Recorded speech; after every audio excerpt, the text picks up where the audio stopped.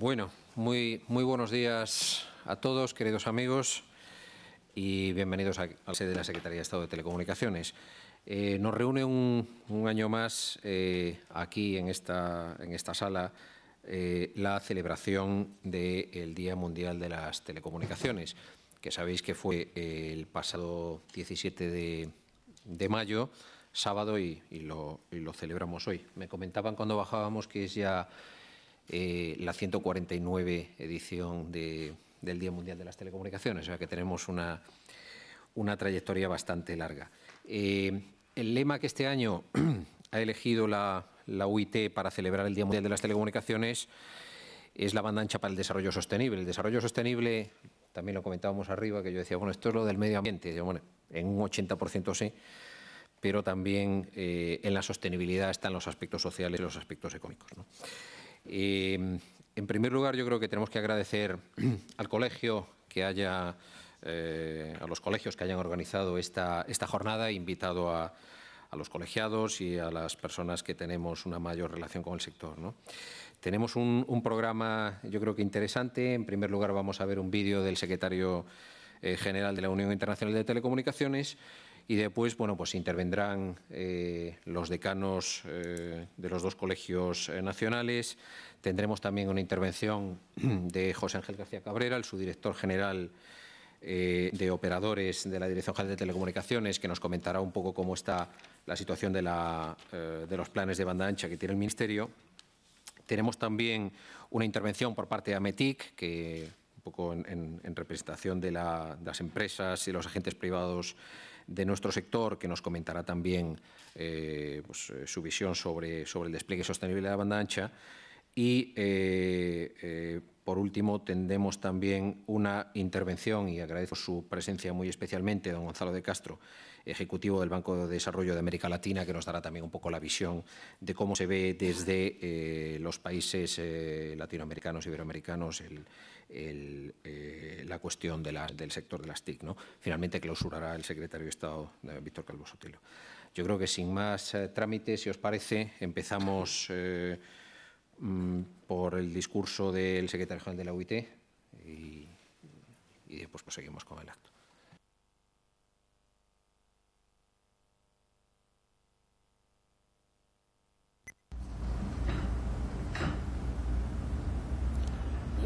En el Día Mundial de las Telecomunicaciones y la Sociedad de la Información de 2014 se celebra el 149 aniversario de la creación de la UIT en 1865.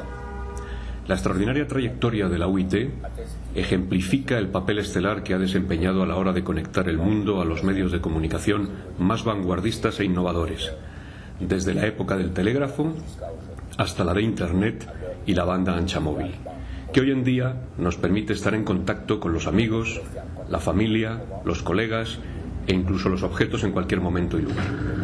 El derecho a la comunicación es fundamental para la sociedad de la información y constituye un principio esencial en el acceso equitativo y universal a la información y el conocimiento, que a su vez facultan a las personas para satisfacer sus aspiraciones y alcanzar sus objetivos de desarrollo. La conectividad de banda ancha es un elemento esencial a la hora de garantizar que las tecnologías de la información y la comunicación se utilicen como vehículos efectivos para la prestación de servicios de salud, educación, gobernanza, intercambios y comercio, a fin de lograr un crecimiento socioeconómico sostenible. En consecuencia, la UIT se ha comprometido a lograr el acceso universal a la conectividad de banda ancha y a promover la voluntad política necesaria para alcanzar este objetivo. Este año, el Día Mundial de las Telecomunicaciones y la Sociedad de la Información se centrará en el tema Banda ancha para el desarrollo sostenible. Actualmente, el desarrollo digital se considera una herramienta de transformación que permite acelerar la consecución del desarrollo sostenible. Con objeto de aprovechar plenamente su potencial, resulta esencial impulsar la implantación de redes de banda ancha de alta velocidad de manera que ésta sea asequible y universalmente accesible. En este sentido, la UIT y la Comisión de la Banda Ancha para el Desarrollo Digital se sitúan en la vanguardia a la hora de implantar la banda ancha como medio para conseguir el desarrollo sostenible. La Conferencia Mundial de Desarrollo de las Telecomunicaciones hizo especial hincapié en ello este año al centrarse en el tema banda ancha para el desarrollo sostenible.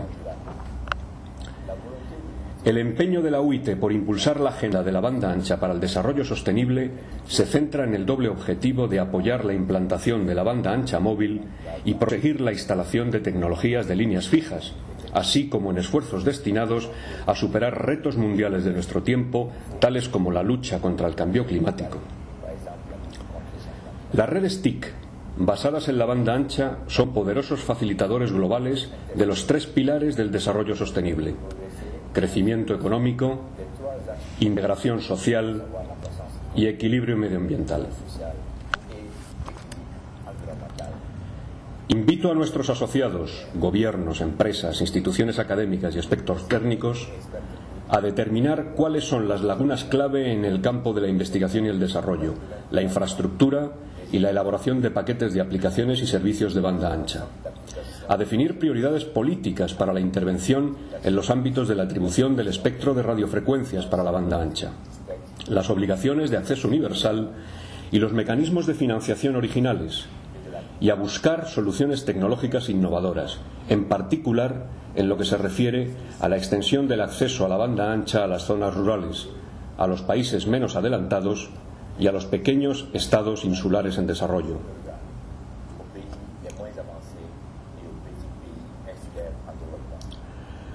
Aunemos nuestros recursos a fin de aprovechar el papel catalizador de las TIC en el logro del desarrollo sostenible. Esta es la clave para asegurar un futuro mejor para todos. Muchas gracias.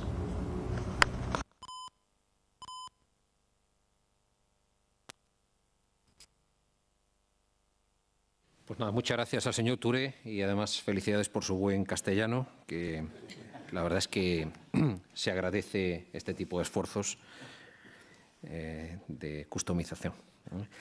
Muy bien, pues eh, vamos a dar la palabra ahora a José Javier Medina, el decano del Colegio Oficial de Ingenieros Técnicos de Telecomunicación. José Javier, cuando quieras. Buenos días, muchas gracias por la invitación en este 149 aniversario. Muy de acuerdo con la intervención de Hamadun Touré. El tema es el uso de la banda ancha y en España objetivos ultra rápida, habla de alta velocidad. En España ya venimos aplicando desde esta misma casa la estrategia de la ultrarrapidez de la banda ancha y totalmente de acuerdo con lo que ha establecido Hamadun Touré en cuanto a que las redes TIC son clave económica eh, para el crecimiento, clave de integración social y clave para el equilibrio medioambiental. Ahí están exactamente esas estrategias. Y, yo de las redes TIC quería mm, reseñar especialmente y poner especial hincapié y énfasis en el tema de la C, de las TIC, de las comunicaciones, que es el día que nos une aquí, las comunicaciones, las telecomunicaciones. Las comunicaciones son incluso anteriores a los seres humanos. Esto sí que eh, mucho más que los datos o que la I. Em, ¿Podemos hablar de la asistencia de comunicación antes de la asistencia de seres humanos y desde cuándo? Pues sí, mucho antes de que los seres humanos pudiéramos hablar ya de comunicación entre seres vivos. Desde el mismo momento en que eh, un ser vivo realiza las relaciones de comunicación con los que tiene cerca, podemos decir que existe esta comunicación y este hecho se produce incluso entre los organismos unicelulares. Pero viniendo a la actualidad, eh, ya estamos dejando atrás el paradigma del cambio de milenio el, paradigma que se identificó con la sociedad de la información y ahora estamos también en la sociedad de las comunicaciones.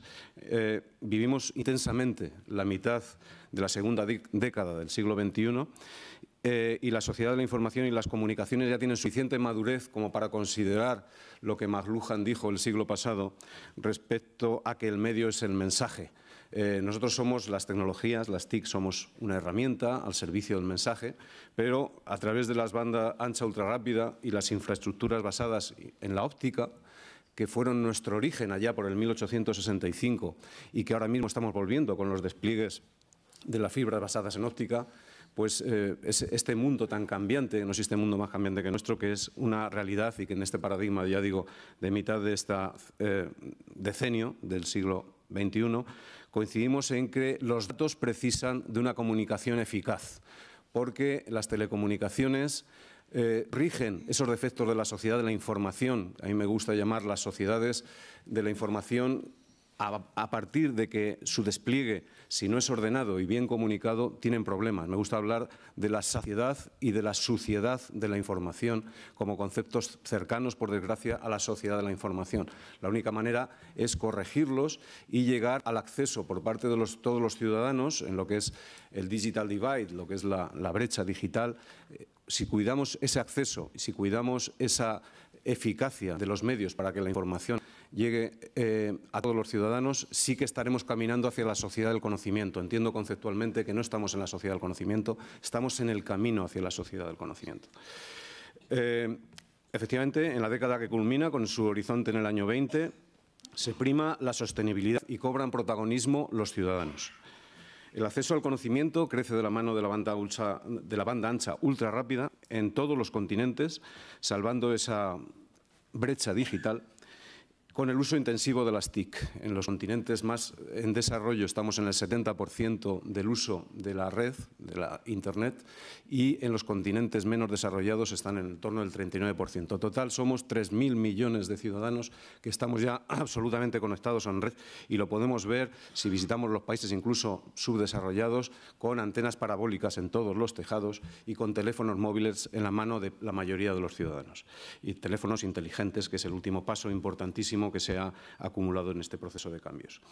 Hemos pasado de la idea de que el ser humano tiene en las comunicaciones en sus orígenes a la idea de que los ciudadanos necesitan en su esencia comunicarse cada vez más y mejor, y que calidad y precios en la comunicación son factores fundamentales para este desarrollo social que esta Casa impulsa en este ejercicio de regulación tan importante. Incluso la calidad más que los precios son cada vez más demandados por los ciudadanos, aunque nos sorprenda. Esas comunicaciones actuales que provienen de la banda alta ultrarrápida y las comunicaciones punto a punto, lo que definía la web 2.0, cada vez se cotizan más al alza, no solo como interés general, sino como bien básico de interés público eh, en mi opinión también.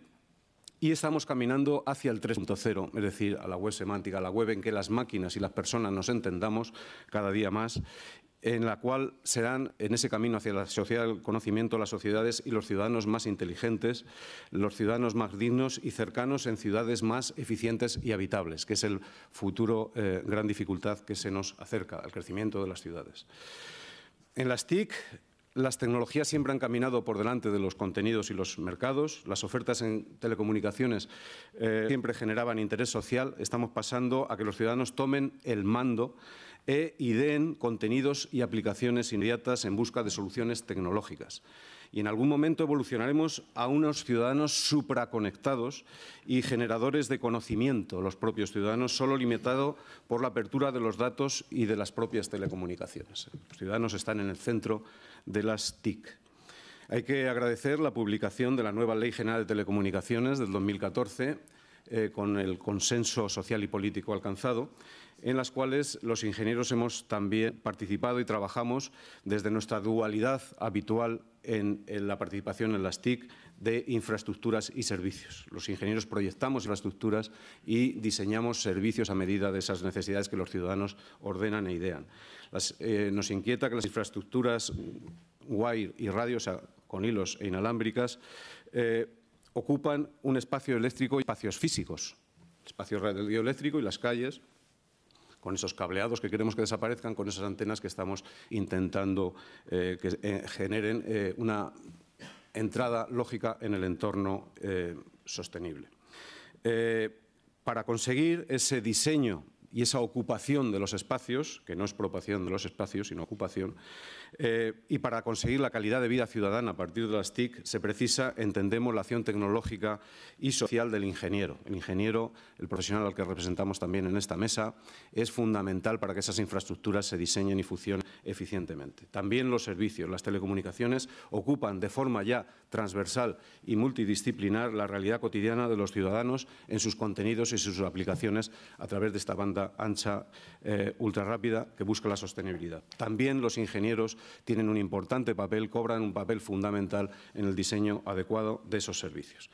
Siempre me gusta en esta intervención también hacer, aunque sea primavera, un uso de la Carta de los Reyes Magos y pedir a la Administración que en ese desarrollo de la Ley General de Telecomunicaciones, que tan eficientemente se ha hecho eh, recientemente, se tenga en cuenta la participación de los profesionales a los que representamos, esos 2.000 egresados año que están produciendo nuestras 45 escuelas en las titulaciones de primer ciclo, en nuestro caso, de graduados e ingenieros técnicos de telecomunicación, pues que se cuente con nuestros profesionales en la participación adecuada del colegio al que represento en distintos eh, estamentos propuestos en la propia ley, tanto los anteriores como el Consejo Asesor de Telecomunicaciones Comunicaciones, al que tengo el, eh, el honor de pertenecer desde su comienzo, como en las infraestructuras de telecomunicación que sean desarrolladas en la ley, en la participación ministerial en leyes que impliquen potencialmente proyectos tan en terrenos tan importantes como es la seguridad, las redes públicas, etcétera, como en los nuevos, en el reconocimiento de los facultativos profesionales, las mesas que puedan surgir desde la Comisión sobre Radiofrecuencia y Salud, el despliegue de las infraestructuras ultra rápidas, que es el tema de hoy, la seguridad y secreto de las comunicaciones y las comunidades smart o inteligentes, que es el camino hacia En definitiva, coincidiendo el ministro de Industria, creemos que caminamos, no solo mm, partimos desde ese eh, encuentro europeo del Tratado de Roma, ese encuentro de la Comisión Europea, ese encuentro económico y social, pero también, como decía el ministro, estamos caminando hacia un mercado común de la eh, industria y un mercado común de la sostenibilidad y un mercado común de la energía. Y yo añadiría a las palabras del ministro que también esperamos que haya un mercado común de los profesionales que cada vez se mueven más y mejor la movilidad por toda Europa y por todo el mundo.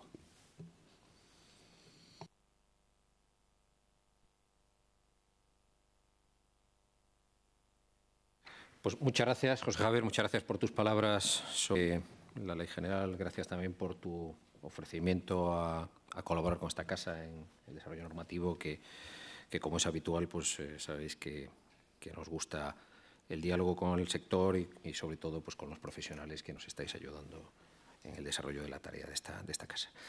Eh, tiene la palabra Eugenio Fontán, decano del Colegio Oficial de Ingenieros de Telecomunicación. Eugenio. Pues muchas gracias, director general, Alberto, querido compañero. Quiero agradecer en primer lugar a todos los que estáis aquí, el director general de Red.es, nuestro diputado, eh, y también muy especialmente a las personas que han, que han eh, contestado y que nos acompañan en esta mesa, porque quieras que no, al final es un esfuerzo el, dedicar unos minutos o unas horas a preparar una intervención como esta. Entonces quiero agradecerle en particular a Gonzalo de Castro, en nombre de, de CAF, del Banco de Desarrollo de América Latina, eh, cuya actividad yo creo que encaja absolutamente como un anillo al dedo en el, en el lema de este año de la UIT. También al subdirector general eh, que nos acompaña, eh, Amelia, Amalia, en representación de, de, Ametic, y también a nuestro compañero, el decano del Colegio de Ingenieros Técnicos y Peritos de Telecomunicación. queridos amigos, estamos efectivamente un año más aquí y en cierto modo también este año debe servir un poquito de hacer repaso de lo que, de lo que se hace ¿no? de un año a otro. Y en ese sentido, mm, primero me gustaría refrescar un poco con, datos objetivos y certificados de alguna manera por los grandes protagonistas tecnológicos de esta, actividad a la que nos dedicamos. El Banco Mundial, en el informe que, presentó también el CAF recientemente en, al lado de la Casa de América, comentaba que los incrementos de 10% en la penetración de banda ancha en los países en vías de en los países emergentes, suponían crecimientos de más del 1,3% en el PIB.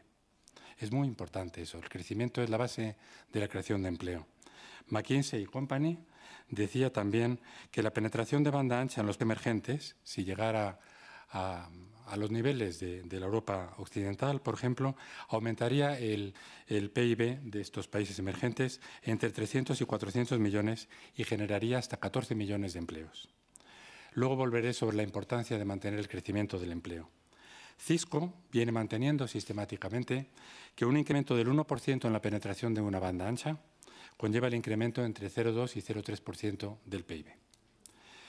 Eh, Europa hace tiempo que ha emprendido eh, una política de una comprensión profunda de esta realidad, de esta, de esta situación, y ha orquestado un plan global cuyas metas se resumen en lo que hemos venido conociendo como la Agenda Digital Europea. Y España, yo creo que haciendo muy bien los deberes, con un espíritu de escucha muy, importante hacia, y de apertura al sector y de buscar consensos, eh, ha llevado adelante dos medidas, entre varias, que me, me importaría mucho, me parecen muy relevantes reflejar aquí. La primera es la Agenda Digital para España y el Plan Nacional de Comunicaciones y Redes Ultrarrápidas. Eh, el colegio, como otras instituciones, ha estado presente desde el grupo de trabajo ya de expertos que, que empezó a diseñar esta, esta, agenda digital española y luego con aportaciones concretas a los diferentes planes. Quiero agradecer especialmente a Red.es la cordialidad con la que ha venido acogiendo nuestras, nuestras propuestas y, y, y la receptividad que ha tenido siempre. El colegio cree que es un buen plan, estamos convencidos de que es un buen plan, que recoge ambiciones eh, que debemos materializar y, y, que debemos eh, poner en marcha con nuestro trabajo porque creemos que va a tener un impacto muy positivo en la economía. También esperamos que se implemente en el menor tiempo posible y que todas las administraciones, de una manera coordinada, trabajen con la Secretaría de Estado y con el Ministerio de Industria para facilitar el cumplimiento de estos objetivos. El segundo de los elementos consideramos que ha sido un éxito del sector es la Ley General de Telecomunicaciones. Tengamos en cuenta que su aprobación ha contado con un amplísimo consenso de los grupos políticos más significativos y mm, quiero felicitar a, nuestros parlamentarios, en particular a, a, Javier, que está aquí presente, por el excelente trabajo que han venido desarrollando. El que una ley tan importante como esta y tan importante para nuestro sector goce de un respaldo tan amplio es garantía de que va a llevarse adelante.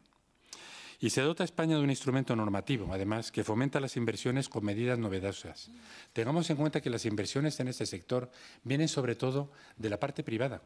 Es muy importante esto. Este no es un sector que necesite habitualmente de la subvención del dinero público, sino que al revés proviene de, inversión privada que hay que eh, gestionar y hay que tratar de, de, convencer en los foros donde las inversiones se gestionan y que además este sector viene contribuyendo de una manera muy generosa con todo tipo de impuestos, tasas y ayudas al desarrollo de otros, eh, de otros, digamos, de otros elementos que no forman parte directa de este sector. Por otro lado, esta certidumbre de, de la inversión es algo absolutamente crucial. Y en ese sentido, la Secretaría de Estado y, por supuesto, el Parlamento contará con el respaldo y el, apoyo más, más eh, cordial y más leal por parte del Colegio. En ese sentido, quiero recordar a todos los que estáis aquí y que sois además colegiados que nuestra principal obligación como colegio es asesorar y ayudar a que las administraciones públicas hagan bien su labor. Este, no me cansaré nunca de decir que esta es nuestra primera obligación y no hay nada mejor para ello que tener una administración que nos escucha, como es el caso. En ese sentido, quiero felicitar al equipo de la SETSI, a todos los servidores públicos que estáis aquí y agradeceros el trabajo que estáis desarrollando. Quisiera dedicar unos minutos breves para hablar del colegio de nuestra institución. El colegio no es un club de socios, es una institución pública, con un importante compromiso con el país y ponemos a disposición de la Administración y del sector el conocimiento técnico que atesoran los ingenieros, que son los profesionales de referencia. Me honra decir que ahora mismo hay más de 400 compañeros que trabajan con la Junta de Gobierno en la elaboración de documentos, de propuestas y la celebración de actos como este que estamos manteniendo. Esta vocación nuestra de ser un actor consistente con el ecosistema nos obliga también a darnos cuenta que no somos los únicos, ni siquiera los más importantes. Y en ese sentido debemos trabajar con los operadores, con los fabricantes, con los instaladores, con otras asociaciones profesionales, otras asociaciones sectoriales y, cómo no, con otras, otros grupos y otras instituciones que, sin formar parte directa del ecosistema de las telecomunicaciones, de una manera u otra, colaboran también a que las infraestructuras de banda ancha garanticen un desarrollo sostenible. El colegio tiene también un compromiso ineludible con la calidad. Estamos certificados por ENAC, acreditados. Estamos siguiendo una política de acreditación permanente en todos aquellos elementos que detectamos lo requieren. Estamos auditados, por supuesto, y además creemos que debemos de hacer un ejercicio permanente de transparencia, no solamente ante nuestros colegiados, sino ante la sociedad en su conjunto. Otro papel importante que nos importa mucho manifestar es que estamos comprometidos con la elaboración de documentos, de informes que sean de actualidad, oportunos y que puedan servir también de reflexión para todos aquellos que estén interesados. En este sentido, nuestros grupos de trabajo vienen desarrollando y vienen terminando una serie de, trabajos, algunos de los cuales voy a mencionar. Entre los más recientes está el de la protección de datos y propiedad intelectual en el entorno TIC, que ya se proyectan para que sean otros colectivos y otras instituciones los que tomen el relevo y lo consideren como un, elemento de trabajo. Vamos a presentar dentro de unos días un informe de Smart Cities, elaborado además de común acuerdo con la universidad, porque pensamos que no solamente es una cuestión de tecnología, una cuestión de instalación, sino es una reflexión más amplia la que debemos hacer para que el concepto de Smart City se desarrolle y permita además la creación de trabajo y la creación de un nuevo entorno para los ciudadanos. Otros informes que ya conocéis son el de neutralidad de red, el de banda ultra rápida. Entre los que tenemos terminados hace poco hay uno de, telecomunicaciones y despliegue para las fuerzas españolas en el extranjero, en, puntos calientes, digamos, en puntos críticos. Tenemos otro de test para defensa, políticas de estímulo a la demanda, fiscalidad para el sector. Otros, por ejemplo, que no corresponden plenamente a nuestro sector, pero que están muy ligados, como puedan ser redes sociales y menores. Creemos que es una reflexión en la que los ingenieros también debemos de, fomentar el debate.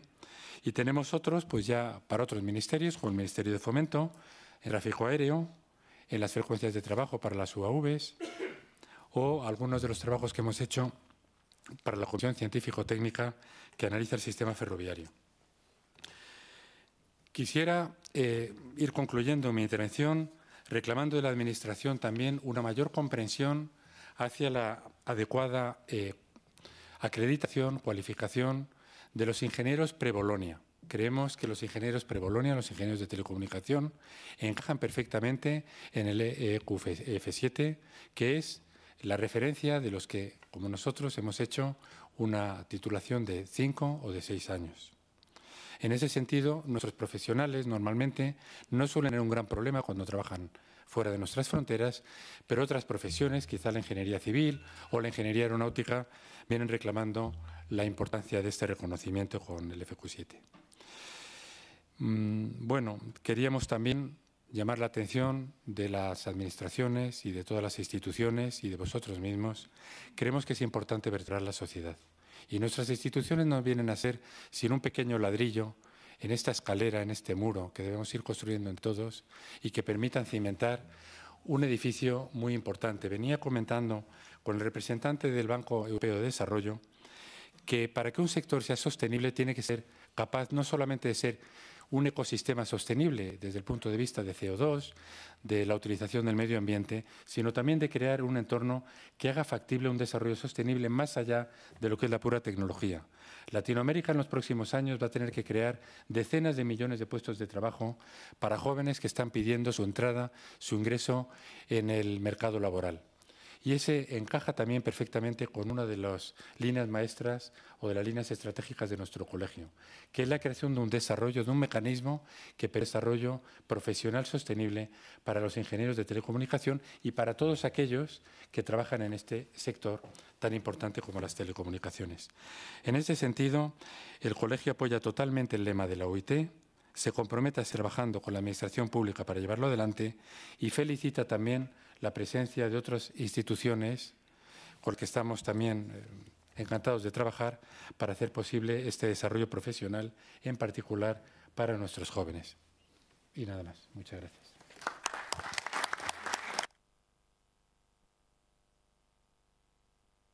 Muchísimas gracias, Eugenio, eh, por tus palabras. Eh, tiene la palabra José Ángel García Cabrera, el subdirector general de redes y operadores de telecomunicación de la Dirección General de Telecomunicaciones. Gracias, José Ángel. Eh, muchas gracias, director general.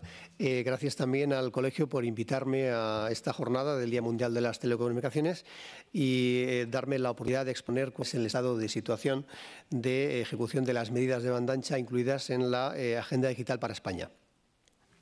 Eh, como todos ustedes saben, eh, las actuaciones de banda ancha en España se enmarcan dentro de eh, lo que ha sido aprobado por, la Unión Europea, la Agenda Digital para Europa, adoptada en 2010, donde destacan dos grandes objetivos en el ámbito de la banda ancha. El primero es lograr cobertura universal en 2020 para la velocidad de 30 megabits por segundo y la segunda es lograr en esta misma fecha, en 2020, que el 50% de los hogares estén conectados a redes de 100 megabits por segundo. La Unión Europea, al igual que eh, se ha comentado en la Unión Internacional de Telecomunicaciones, entiende que la existencia de redes de banda ancha ultrarrápida son eh, fundamentales para el desarrollo de nuevos servicios y para trasladar los beneficios generados por las tecnologías digitales al conjunto de la sociedad. Eh, la Agenda Digital para España, que fue eh, aprobada en 2013, es el eh, marco de referencia que existe en España para las actuaciones en ámbito TIC. Dentro de esta agenda hay nueve planes y con la ejecución de los mismos se pretende estimular el desarrollo de la economía digital para facilitar el crecimiento, la productividad y también potenciar la creación de empleo. El, plan al que nos vamos a, referir en esta intervención es el Plan de Telecomunicaciones y Redes Ultrarrápidas, que eh, concreta medidas y calendarios relacionados concretamente con eh, el desarrollo de las redes de banda ancha ultrarrápida. En la Agenda Digital para España, no podía ser de otra forma, se eh, recogen los objetivos para 2020 de la Agenda Europea, pero además se añaden otros objetivos parciales a eh, satisfacer en el año 2015. Aquí eh, cabe señalar que la recientemente aprobada Ley General de Telecomunicaciones eh, incluye un objetivo más en, 2017, en una disposición adicional, la decimoctava, que aborda esta cuestión y que eh, eh, bueno, pues, supone que en 2017 deba haber cobertura universal para todos los ciudadanos a una velocidad de 10 megabits por segundo. El plan de telecomunicaciones y redes ultrarrápidas se basa en tres ejes principales. Uno de ellos es el despliegue de redes de acceso fijo, el segundo es acelerar la cobertura de redes móviles y el tercero es fomentar la demanda. Para alcanzar estos objetivos, el, plan eh, define dos tipos de medidas. Por un lado, las medidas normativas y, por otro lado, medidas de ayuda. En cuanto a medidas normativas, van dirigidas principalmente a eliminar las barreras al despliegue y eh, facilitar la unidad de mercado. También se pretende, con medidas normativas, conseguir un uso más eficiente del espectro radioeléctrico y también mejorar la experiencia de los usuarios. Eh, la eh, ejecución de estas medidas normativas eh, ha dado un paso importante con la reciente aprobación de la Ley General de Telecomunicaciones el, día 9 de mayo y a partir de aquí lo que queda es la tarea de llevar a cabo todo el desarrollo reglamentario para establecer todos los detalles en los que se, basa, esta regulación. En paralelo con la aprobación de la eh, ley general, se han eh, desarrollado otras actuaciones, mm, principalmente en el ámbito de espectro, como liberación del viviendo digital y también eh, se está tramitando una licitación de frecuencias en 2,6 GHz. Antes de entrar a eh, ver eh, con mayor detalle las eh, medidas de ayuda a la extensión de la cobertura de banda mm, quería estar pues un, minuto dando cifras sobre cuál es nuestra situación actual de cobertura y sobre todo en relación con la media de la Unión Europea. En lo, que se refiere a cobertura de banda ancha, las últimas eh, cifras publicadas son del año pasado, de 2013. Ahora mismo estamos elaborando un informe a partir del requerimiento que se hace todos los años a los operadores, el último relativo a datos a diciembre de 2013, pero todavía no ha sido publicado. Entonces, las últimas cifras eh, arrojan una cobertura de redes NGA en España a 30 megabits por segundo del 59% de la población aunque queda mucho por hacer hasta llegar a ese 100%, que es el objetivo para 2020, la situación de partida es relativamente buena, eh, por cuanto que estamos 10 eh, puntos por encima de la media europea. La cobertura a 100 megabits por segundo del, 52% de la población también es eh, razonablemente buena como punto de partida y la cobertura móvil de 3,5 mm, de tercera generación está en el 99% de la población. En breve, eh, como he dicho, eh, publicaremos el informe de cobertura eh, mm, con datos a diciembre de 2013 y ahí ya les puedo adelantar que los avances más significativos se producen en el ámbito de la fibra, donde se pasa de una cobertura poblacional del 14% a otra que va a superar el 20%.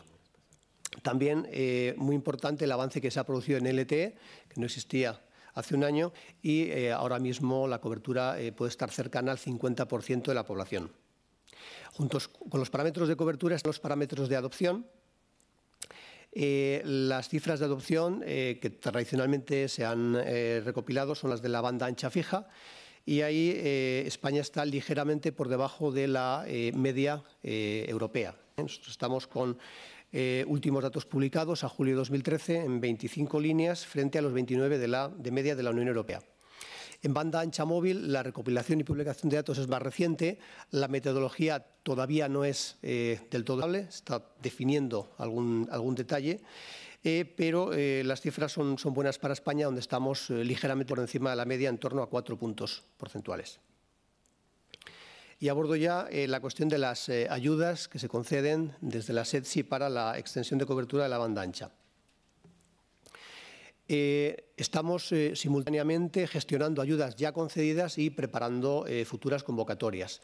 En cuanto a las ayudas ya concedidas, están las de las convocatorias de 2010 y 2011, eran ayudas en forma de préstamos, tanto para banda ancha ultrarrápida como para banda ancha básica. Y también las ayudas concedidas en el año 2013 con una nueva orden destinada ya únicamente a banda ancha ultrarrápida. Como saben, eh, desde 2012 la banda ancha básica forma parte del servicio universal y, por lo tanto, ya no se conceden ayudas para este, esta finalidad. Eh, en estos momentos la SED está gestionando proyectos eh, que ya están ejecutados y hay que certificar o en los que está siguiendo esa ejecución, que eh, movilizan eh, un total de fondos públicos de 187 millones de euros. Son en conjunto 121 proyectos eh, concretos de extensión de cobertura de banda ancha. Asimismo, está abierta en este momento la convocatoria de 2014. La presentación de proyectos se puede hacer hasta el próximo lunes, 26 de mayo, y hay una disponibilidad presupuestaria de 60 millones de euros en préstamos y 7 millones de euros en subvenciones. Señalar también que Además de la convocatoria de ayudas, eh, estamos trabajando en mejorar eh, la coordinación con las comunidades autónomas. Eh, en el pasado, a veces esta, esta, coordinación no ha sido del todo satisfactoria y lo que pretendemos es, a través de la aprobación de un Real Decreto, que ya se presentó al CATSI del pasado día 4 de octubre, eh, garantizar que no existen duplicidades en las medidas de extensión de cobertura de banda ancha que lleva a cabo eh, la, la y aquellas que lleven a cabo las comunidades autónomas. Termino ya eh, señalando que cara al futuro estamos ahora mismo trabajando con el periodo de programación de fondos europeos de 2014 a 2020. como seguramente saben, en este nuevo periodo de programación de fondos europeos eh, en lugar de mm, dispersar las actuaciones en muy distintos tipos de medidas que puedan eh, arrojar eh, resultados poco satisfactorios porque básicamente no se, alcanza, no se crítica en ninguno de ellos, lo que se plantea es la necesidad de la concentración temática. Entonces, de los 11 objetivos temáticos posibles, el grueso de los fondos tienen que ir dirigidos a cuatro de ellos hay una noticia positiva para el sector y es que uno de estos eh, cuatro eh, objetivos temáticos prioritarios son las TIC. Por lo tanto, estos son buenas noticias para las TIC y también, por supuesto, para la banda ancha. En, este, mm, esta negociación que hay con la Comisión Europea para el nuevo periodo de programación, el, con fecha 22 de abril, el Ministerio de Hacienda y Administraciones Públicas ya ha remitido a la Comisión Europea una propuesta de acuerdo de asociación que también ha sido publicada en su página web y ahí, eh, bueno, pues eh, se establece una eh, asignación inicial de fondos para TIC. Si el conjunto de fondos que se manejan en el ámbito del acuerdo de asociación son 35.000 millones de euros para todo el periodo, el, ámbito de las TIC en, FEDER recibiría siempre siendo cautos, puesto que son una, estimaciones, propuestas iniciales, 2.000 millones de euros. Eh, ahora mismo en la SECI estamos trabajando para preparar eh, las futuras actuaciones de sesión de cobertura, teniendo en cuenta esta eh, posible disponibilidad de fondos FEDER. Y para ello estamos viendo que el, actual programa tiene que adaptarse a estas circunstancias. Seguirá siendo un programa mm, de potenciar la oferta, el despliegue de redes, pero estamos pensando en centrar más las ayudas en eh, el vehículo que es la subvención frente al préstamo, en eh, trabajar con fondos regionalizados por comunidades autónomas y también por la propia exigencia de los despliegues que cada vez se realizan en áreas de menos rentabilidad, poder incrementar la intensidad de ayuda que ahora mismo estaba limitada al 35%. Muchas gracias.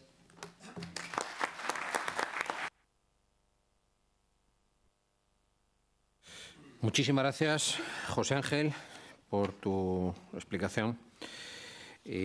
ahora vamos a dar la palabra a Amalia Pellegrín, la directora de operadores de eh, Ametic, que nos hablará del de, eh, nuevo marco de las telecomunicaciones para el despegue sostenible de la banda ancha. Amalia, cuando tú quieras. Pues muchas gracias. Eh, antes de comenzar, agradecer a la organización el haber invitado a, a Ametic a participar en este, en este evento. Y Eh, no voy a desvelar ninguna noticia nueva cuando afirmo que el desarrollo de una economía digital eh, que facilite el crecimiento, que facilite la productividad, la creación de nuevos eh, servicios y que fomente la creación de empleo necesita tener acceso a redes de banda ancha ultra rápidas. Y que en este contexto la actividad de los operadores de, de telecomunicaciones pues es un eslabón fundamental para desplegar los efectos positivos del desarrollo de la sociedad de la, información. Y, bueno, históricamente, eh, la verdad es que este sector, eh, que siempre, y, especialmente en los últimos años, ha estado inmerso en el despliegue de, banda ancha, eh, tanto fijas como, como, móviles, pues ha venido solicitando un marco regulatorio estable que favorezca la inversión y que favorezca también la capacidad de generar ingresos. Y que este marco eh, este entorno debe tener medidas eh, que permiten el desarrollo de planes de negocio que garanticen el retorno de la inversión que se realice y que elimine cargas administrativas por la, cantidad de esfuerzos financieros y de recursos humanos que todo esto conlleva. Y también es verdad que desde hace años el, regulador, eh, ya se ha dicho también, el regulador es consciente de que el sector de las telecomunicaciones es un sector clave eh, y crítico para impulsar la economía. Y en este sentido, ya se ha comentado, la Agenda Digital Europea contempla eh, que es necesario que haya medidas de, fomento de redes de banda, de banda ancha eh, y considera que el sector de las telecomunicaciones, pues, es el, despliegue de redes es una de las maneras, una de las medidas para darle la vuelta a la matrecha economía europea. Y la Agenda Digital eh, Española eh, también considera que el despliegue de infraestructuras de acceso eh, fijas y móviles, junto con el fomento de, estos accesos, de, estas redes, pues son uno de los objetivos claves de, esta, última década. ¿Y cómo lo hace? ¿Cómo se pretende cumplir estos objetivos? Pues por un lado, con la ley de telecomunicaciones, de ahora hablaré brevemente sobre ella, con la liberación del dividendo digital y con un plan de comunicaciones, eh, telecomunicaciones y redes eh, ultra rápidas que está centrado, por un lado, en la modernización de las redes que ya existen y, por otro lado, en el despliegue de nuevas redes y de tal manera que se puedan cumplir con los objetivos de, incluidos en, la Agenda Digital Española que ha comentado antes eh, José Ángel.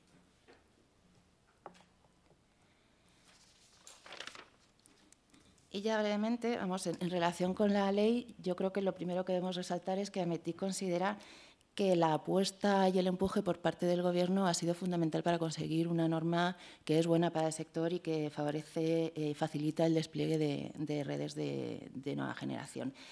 Eh, en este sentido, el Gobierno presentó el proyecto de Ley General de Telecomunicaciones en septiembre del año pasado y ocho meses después, en, mayo del el, 10 de mayo de este, este año, pues se ha publicado la norma y ya está en vigor. Eh, además, ya está comentado aquí también, ha sido una norma que se ha aprobado por amplio consenso y esto la convierte en una herramienta que aporta seguridad jurídica al sector y que permite que contemos con una norma estable en el tiempo. Eh, y la valoración que hacemos eh, desde, desde, el sector, desde METIC, pues yo creo que es una valoración positiva. Eh, en primer lugar, porque uno de sus objetivos fundamentales eh, es recuperar la unidad, del de, unidad de mercado en el sector de las telecomunicaciones y para ello la ley contempla una serie de medidas de cooperación y de resolución de conflicto eh, cuando eh, chocan lo que es la normativa propia sectorial estatal con normas dictadas por otras administraciones públicas en el ejercicio de sus competencias, pero que pueden afectar al despliegue de, de las redes.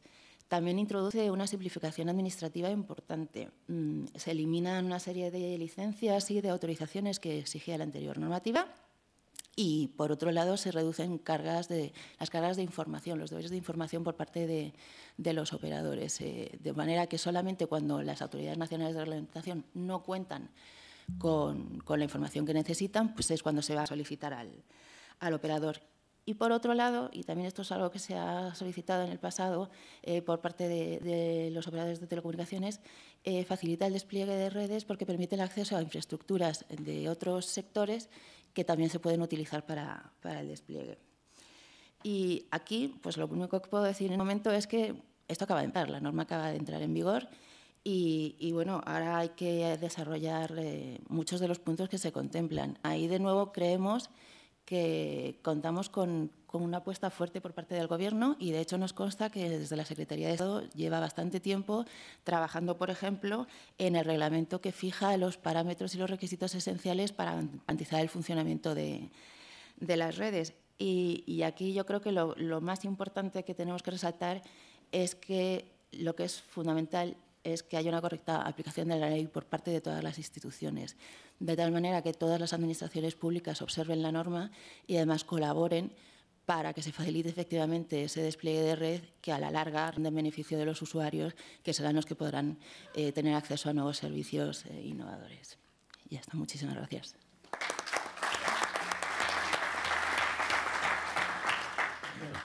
Muchas gracias, Amalia, por tus palabras y tu valoración de la de la, de la Ley General. Bueno, por último, eh, y antes de la clausura, vamos a dar eh, la palabra a Gonzalo de Castro, que es ejecutivo senior de CAF, el Banco de Desarrollo de América Latina, y que nos va a dar también un poco la visión del sector TIC en América Latina, que creo que es más, muy, pertinente en relación con, con, el motivo de, eh, del Día Mundial que nos reúne aquí. Muchas gracias. Cuando quieras, Gonzalo. Muchas gracias. Eh, primero que todo, gracias a los organizadores por invitarnos a este evento tan, importante. Este, y primero que todo, felicidades, felicitaciones por su número 165, es que me comentaron antes de llegar, ¿no? Eh, fecha de Mundial de las Telecomunicaciones. Y en especial a Eugenio Fontán por sus amables palabras, ¿no? que estuvo en una presentación, en la presentación de este informe que voy a comentar ahora más adelante, y, y conoce bastante bien pues, de qué se transforma, qué es a lo que vengo. Yo vengo básicamente, eh, o lo que pretendo son dos, dos objetivos con esta presentación. Número uno, dar a conocer mi banco, una institución nuestra, CAF, que es un banco de desarrollo de América Latina, por un lado, y por otro lado, darle eh, eh, una exposición, mostraros el nuevo estudio que, en el que estuve, el que mencionó Eugenio, que hemos finalizado recientemente con el apoyo estupendísimo de ISDEFE, que fue que nos ha acompañado desde ya hace cinco o seis años, si no me equivoco, en este estudio. Esta es la segunda, la segunda derivada del estudio. Este es el estudio ya 2.0. Pero vamos, primero, ¿qué es CAF? CAF somos un banco de desarrollo multilateral ¿Qué quiere decir esto? Para, meterlos rápidamente, somos, de la Liga del Banco Interamericano de Desarrollo. Lo único es que tenemos unas características algo distintas. Número uno es que somos de Latinoamérica, en este caso diría de Iberoamérica, para Iberoamérica, y digo Iberoamérica porque tanto Portugal como España son accionistas, y de Latinoamérica, básicamente desde México, tenemos 16 países accionistas. Somos un banco de desarrollo, el Banco de Desarrollo, nuestra misión está siempre fundamentada en buscar el desarrollo sostenible de nuestros países, buscando una integración regional en los puntos que hablábamos de lo que, es sostenible, que, sea, que haya inclusión social, que haya respeto al medio ambiente y que desde el punto de vista económico, efectivamente, lo que nosotros financiamos como banco se repague, sea económicamente viable. Adicionalmente a eso, esto, eso estamos hablando un poco como banco. Del otro lado hablamos como eh, institución que fomenta el desarrollo y ahí estamos en lo que nos compete hoy en día, en este, en esta, en este evento, que es la generación de conocimiento. Por encima les comento que tenemos unos activos de 27 mil millones de dólares, unos, una liquidez bastante alta y eh, una cartera de préstamos que ya alcanza casi los 19 mil millones de dólares. Eh, esto para los pocos financieros que hay aquí, somos calificación crediticia AA, que eso quiere decir que vamos muy bien a los mercados de capitales. Hablando ya de CAF, caramba, no puse que iniciar. Ya hablando de CAF, vámonos entonces al, al estudio, ¿no? Este fue un estudio que objetivos eran básicamente tres. Uno, hacer un diagnóstico de cuál es, cómo está el ecosistema digital en la región. Después, segundo, medir y comparar ese desarrollo de, entre las TIC, primero dentro, del mismo, dentro de la misma región y después con otros dos comparativos. Para eso creamos, se creó pues, un índice, que es el índice integral de desarrollo TIC, de manera de poder comparar peras con peras, manzanas con manzanas. Y por último, lo que, lo que buscamos o lo que ofrecemos con este, con este estudio es hacer unas recomendaciones, propuestas de, ecuación, de, actuación en las regiones a nivel regional y a nivel por país.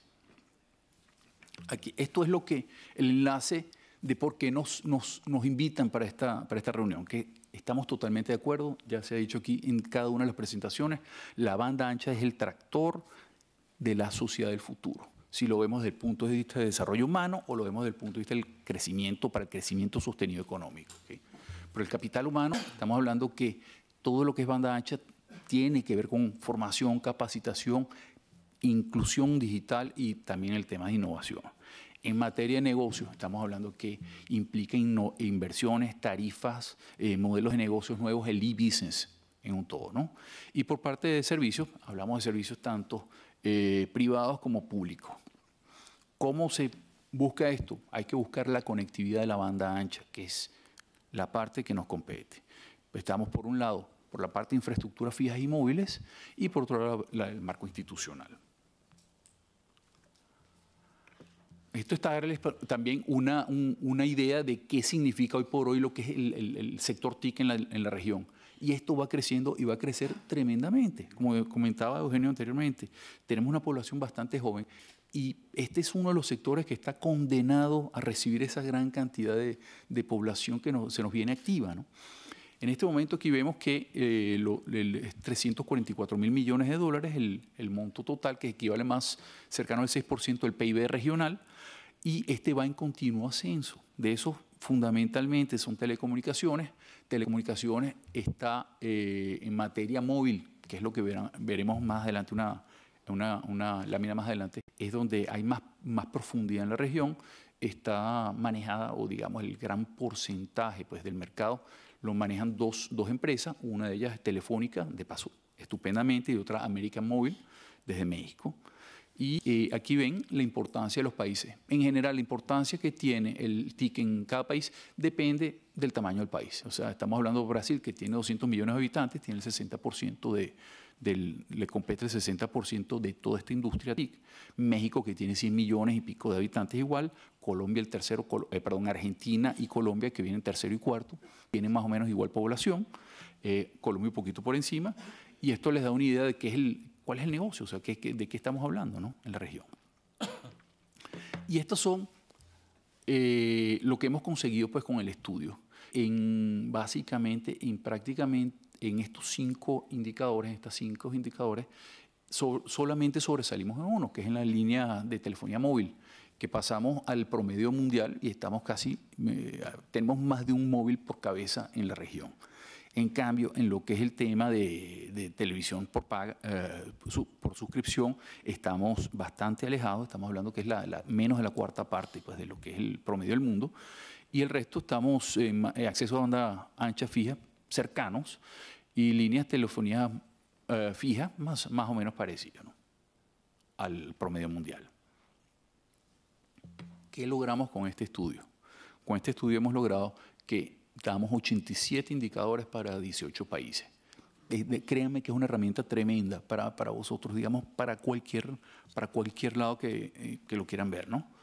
Y aquí vemos cómo estamos en general con respecto al, al resto de, de, los países que nos comparamos.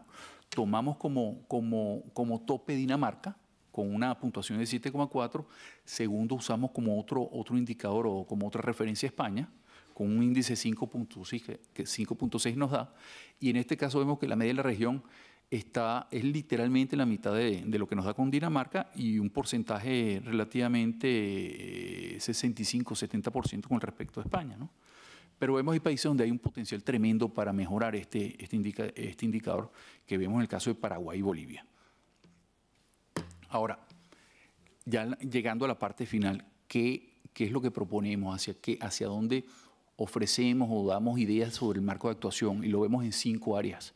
En uno es lo que es la parte infraestructura de las TIC, la segunda es la parte de economía digital, tercero lo que es inclusión digital y capital humano. Hay hay, vamos a decir, hay retos en la, en la, región donde la inclusión, la penetración depende, por un lado, del nivel, del nivel socioeconómico y, por otro lado, de dónde se sitúe geográficamente. Estamos hablando que nuestra región es, es la región del mundo más urbanizada, donde el porcentaje en este, hoy por hoy, el 80%, y, el 80 de la población latinoamericana vive en grandes urbes y el resto entonces, y siendo una población, de, perdón, una región bastante, bastante amplia, estamos hablando de 22 millones de kilómetros cuadrados, hay, hay poblaciones bien alejadas. Entonces esto es una realidad que vivimos. El tercero, el marco institucional, y el cuarto, eh, servicios públicos digitales. De, de, eso, de ese documento, al final lo que damos son, de, de, esa, de, esa, de ese estudio, damos 16 documentos de estrategia práctica. Estamos hablando de 16 de 16 documentos, son 16 países, cada uno de los países, y damos una propuesta de actuación también a nivel, este, de, a nivel regional. ¿no? Temo, eh, tengo que decir antes, antes de todo esto que es que efectivamente existen grandes oportunidades en la región. ¿no? Y en ese sentido hay en materia para nuevas, para nuevas infraestructuras, seguimos penetrando nuevas infraestructuras y servicios para todo lo que es transferencia del conocimiento y capacitación tanto el ciudadano, o sea, a la persona de a pie, como a las instituciones, tanto públicas y privadas también, y asesoramientos de gobierno. En el caso específico de España, España tenéis una, un avance tremendo en materia de telecomunicaciones y creo que sería una oportunidad eh, que no se puede dejar de pasar, teniendo en cuenta que el español es el segundo idioma más usado en Internet. Bueno, con esto me despido y muchas gracias.